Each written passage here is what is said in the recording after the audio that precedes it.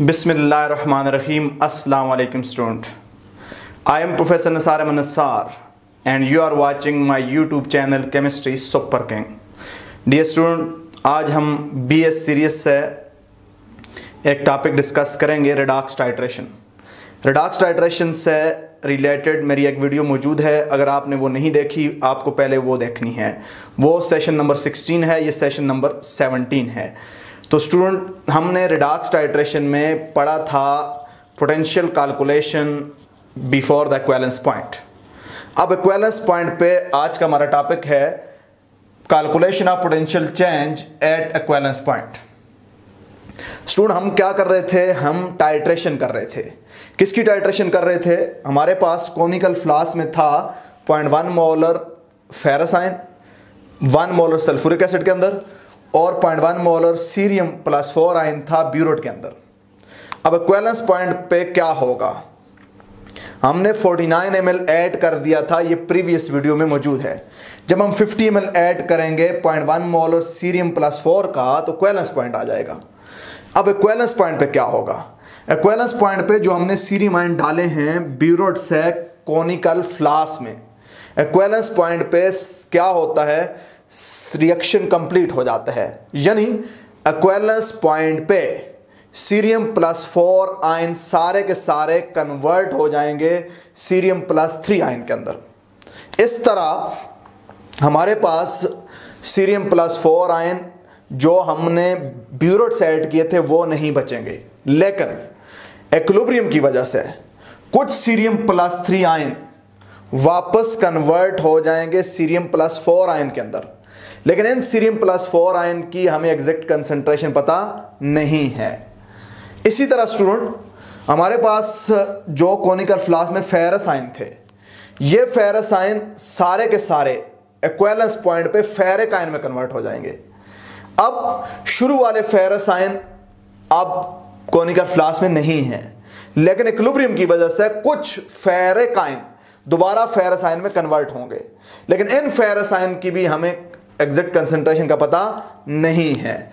इसलिए equivalence point पे हम क्या कर सकते हैं? एक्वेलेंस पॉइंट पे ना तो हम इक्वेशन वन को ए को, ना तो इक्वेशन बी को यूज़ करके हम पोटेंशियल कैलकुलेट कर सकते हैं। स्टूडेंट आप समझने की कोशिश करना। हमारे पास ये रिएक्शन था।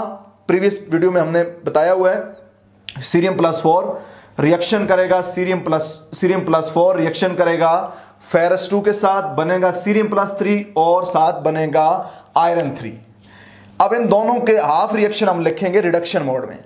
तो फेरिक प्लस थ्री एक इलेक्ट्रॉन गेन करके फेरस बनाएगा।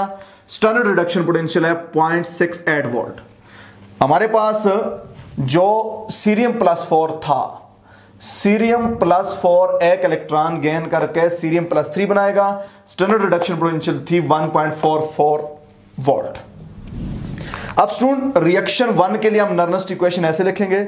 Potential at equivalence point equal to standard reduction potential of ferric minus point zero five nine one log of product यानी ferrous concentration divided by ferric ion concentration इसी तरह दूसरे reaction के लिए हम Nernst equation लिखेंगे।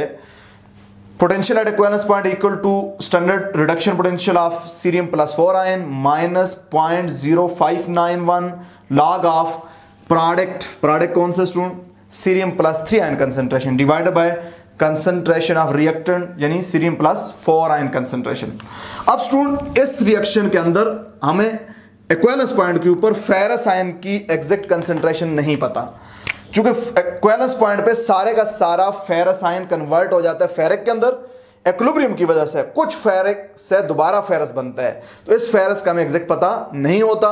जब फेरस का एग्जैक्ट पता नहीं होता तो फिर एक्वेलेंस पॉइंट पे फेरिक का भी एग्जैक्ट पता नहीं हो सकता।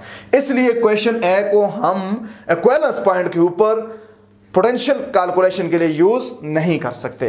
इसी तरह स्टूडेंट रिएक्शन टू के लिए नर्नस्ट इक्वेशन जो हमने लिखी इसमें क्या होता है? एक्वेलेंस पॉइंट के ऊपर सारे के सारे cerium plus four cerium plus three में कन्वर्ट हो जाते हैं। लेकिन इक्लुब्रियम की वजह से कुछ cerium plus three cerium plus four में कन्वर्ट होंगे। लेकिन इस सीरियम प्लस फोर की कंसेंट्रेशन हमें पता नहीं है। जब सीरियम प्लस फोर की कंसेंट्रेशन पता नहीं होगी तो फिर सीरियम प्लस थ्री भी हम एग्जैक्ट मालूम नहीं कर सकते। इसलिए इस इक्वेशन को भी एक्वेलेंस पॉइंट के ऊपर हम पोटेंशियल कैलकुलेशन के लिए यूज़ नहीं कर सकते। तो अब स्टूडेंट क्या होगा?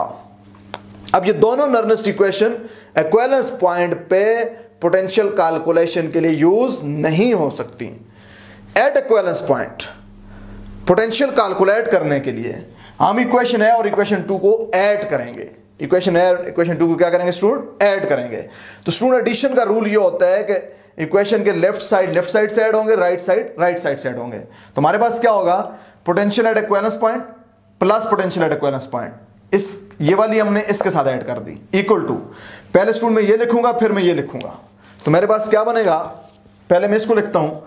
Standard reduction potential of ferric ion minus point zero five nine one log of concentration of ferrous divide by concentration of ferric equation A लिखती. इक्वेशन ए का मैंने राइट साइड लिख दिया. प्लस अब इक्वेशन बी का right side लिखूँगा. तो क्या बनेगा स्टूडेंट मेरे पास बनेगा standard reduction potential of cerium plus four minus point zero five nine one log of concentration of product divide by concentration of reactant तो मैंने दोनों इक्वेशन को ए और बी को ऐड कर दिया।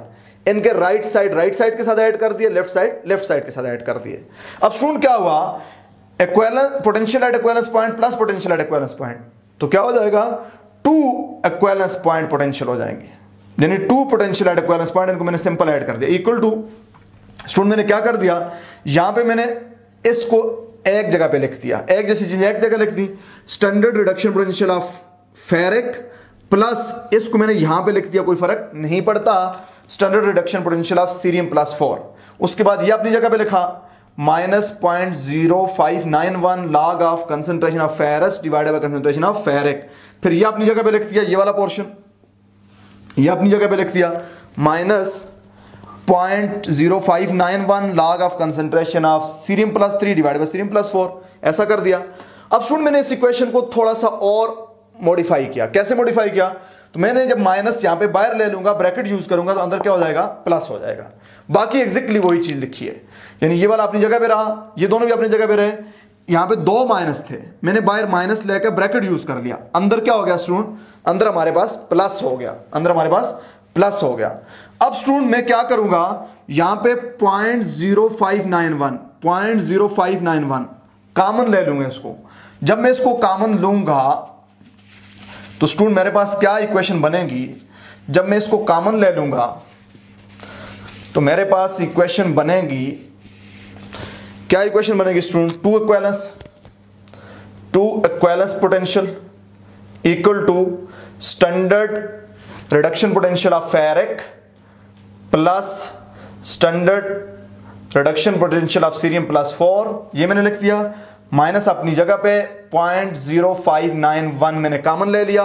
अंदर क्या बचा स्टूडेंट अंदर बचा log of ferrous ion concentration divided by what ferric ion concentration plus log of क्या बचा स्टूडेंट मेरे पास? Log of cerium plus three concentration divided by cerium plus four concentration तो ये मेरे पास इक्वेशन बन गई। अब स्टूडेंट मैंने क्या करना है। यहाँ पे ज़रा गौर करना। हमारे पास हमारे पास लाग का रूल है। अगर मेरे पास होता log of A plus log of B student ये मेरे पास किसके बराबर होता है? Log of A into B log of A into B अब स्टूडेंट मैंने क्या करना है। इस पे ये वाला रूल अप्लाई करना है। इस सारे को मैं अगर ए ले लूँ, इस सारे को मैं अगर बी ले लूँ तो log of A plus log of B किसके बराबर होगा? लाग ए एन टू बी। तो ये क्वेश्चन बनेगी to equivalence point potential equal to standard reduction potential of ferrous ion plus standard reduction potential of cerium plus four ion minus point zero five nine one अब student मैंने log का rule apply जब करूँगा, लाग of A क्या है? Ion concentration sorry ferrous ion concentration divided by ferric ion concentration into अब B मेरे पास क्या है? बी मेरे पास स्टूडेंट है। Cerium ion concentration divided by cerium plus four ion concentration ये मैंने सिंपल मैथमेटिक्स कर ली।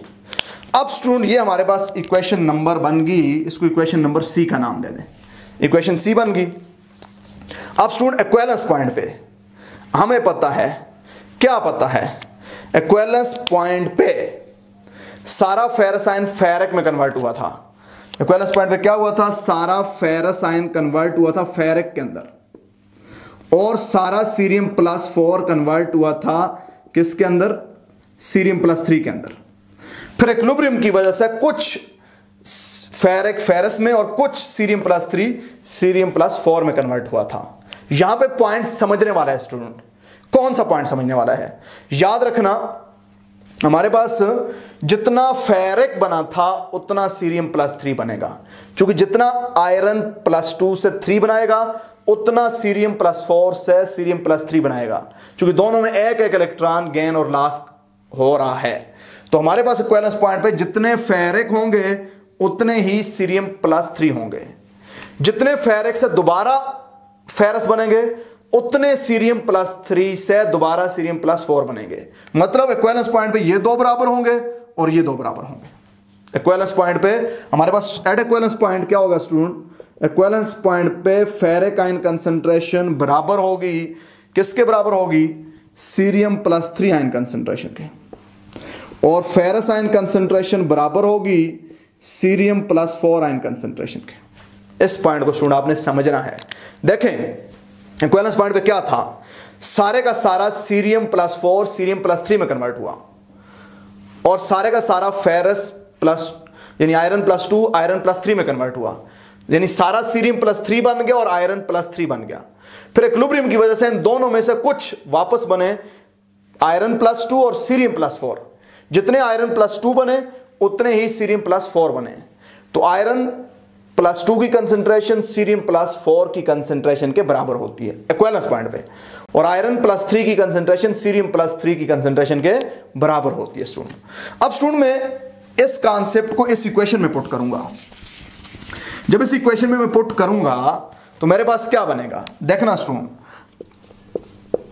to equivalence point potential equal to standard reduction potential of ferric ion plus standard reduction potential of cerium plus four minus point zero five nine one अब यहाँ पे student हमारा असल कहानी है, यहाँ पे ब्रैकेट यूज़ कर लें। यहाँ पे मेरी असल कहानी है, क्या बनेगा?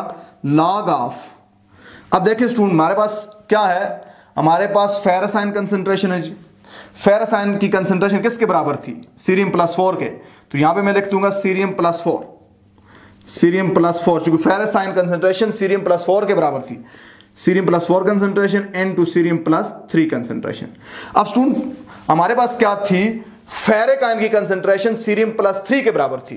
तो यहाँ पे मैं सीरियम प्लस थ्री लिख सकता हूँ।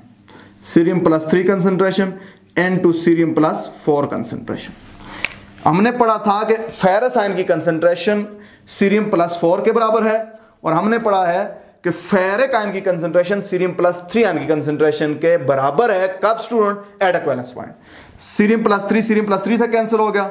Cerium plus four cerium plus four से कैंसिल हो गया। क्या बचा स्टूडेंट वन बचा। ठीक है जी? हमारे पास वन बचा।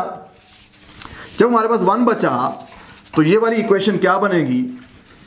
ये वाली इक्वेशन मेरे पास बनेगी।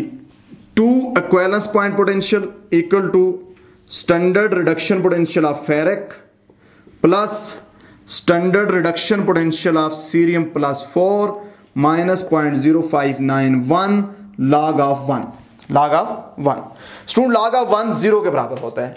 किसी चीज़ के साथ ज़ीरो को मल्टीप्लाई करेंगे तो क्या हो जाएगा? ज़ीरो हो जाएगा। तो हमारे पास equivalence point potential to equivalence point potential बराबर हो जाएगी। Standard reduction potential of ferric ion plus standard reduction potential of cerium plus four इसके बराबर हो जाएगी। क्योंकि ये सारा फैक्टर क्या हो जाएगा student log of one zero होता है ज़ीरो को इससे मल्टीप्लाई करेंगे ज़ीरो हो जाएगा। तो हमारे पास ये क्वेश्चन आ जाएगी। अब स्टूडेंट क्या होगा?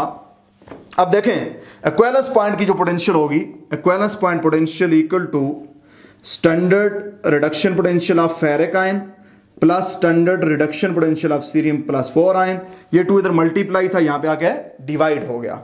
तो स्टूडेंट ये वो इक्वेशन है, जिसको हम यूज़ करके एक्वेलस पॉइंट के ऊपर रिडॉक्स टाइट्रेशन में हम क्या करते हैं? रिडॉक्स टाइट्रेशन में हम पोटेंशियल फाइंड करते हैं।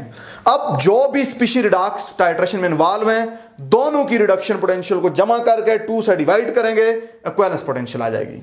अब स्टूडेंट एक्वेलेंस पोटेंशियल यहाँ पे इस केस में हम जब फाइंड करेंगे तो हमारे पास क्या होगी? स्टूडेंट इस केस में हम क्या करेंगे? अब वैल्यू पुट करेंगे। एक्वेलेंस पॉइंट पोटेंशियल बराबर होगी।